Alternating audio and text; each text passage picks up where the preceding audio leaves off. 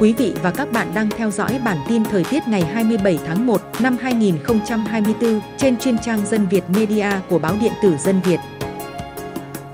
Khu vực Hà Nội, nhiều mây, có mưa, mưa nhỏ, gió đông bắc cấp 2, trời rét hại, nhiệt độ thấp nhất 10 đến 12 độ, nhiệt độ cao nhất 13 đến 15 độ. Khu vực phía Tây Bắc Bộ, nhiều mây, có mưa, mưa nhỏ rải rác, gió nhẹ, trời rét hại, nhiệt độ thấp nhất 9 đến 12 độ, Tây Bắc 4 đến 7 độ, vùng núi cao có nơi dưới 3 độ. Nhiệt độ cao nhất 12 đến 15 độ, vùng núi cao 7 đến 10 độ. Khu vực phía Đông Bắc Bộ, nhiều mây, có mưa, mưa nhỏ rải rác, gió Đông Bắc cấp 2 đến 3, trời rét hại. Nhiệt độ thấp nhất 9 đến 12 độ, vùng núi 4 đến 7 độ, vùng núi cao có nơi dưới 2 độ.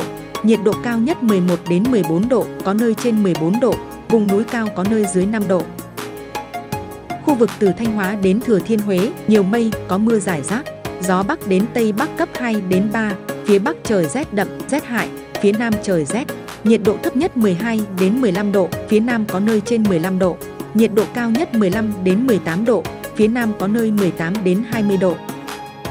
Khu vực từ Đà Nẵng đến Bình Thuận, nhiều mây, phía Bắc có mưa rải rác, phía Nam đêm có mưa rào vài nơi, ngày nắng, gió đông bắc cấp 3, vùng ven biển cấp 4 đến 5, có nơi có gió giật mạnh cấp 6. Phía Bắc trời lạnh, nhiệt độ thấp nhất 20 đến 23 độ, phía Bắc có nơi dưới 20 độ. Nhiệt độ cao nhất phía Bắc 23 đến 26 độ, phía Nam 27 đến 30 độ. Khu vực Tây Nguyên có mây, đêm có mưa vài nơi, ngày nắng. Gió đông bắc cấp 2 đến 3, nhiệt độ thấp nhất 16 đến 19 độ, nhiệt độ cao nhất 27 đến 30 độ. Khu vực Nam Bộ có mây, đêm không mưa, ngày nắng.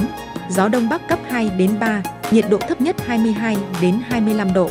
Nhiệt độ cao nhất 30 đến 33 độ, có nơi trên 33 độ.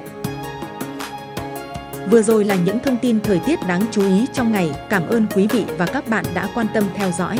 Xin kính chào và hẹn gặp lại trong những bản tin tiếp theo.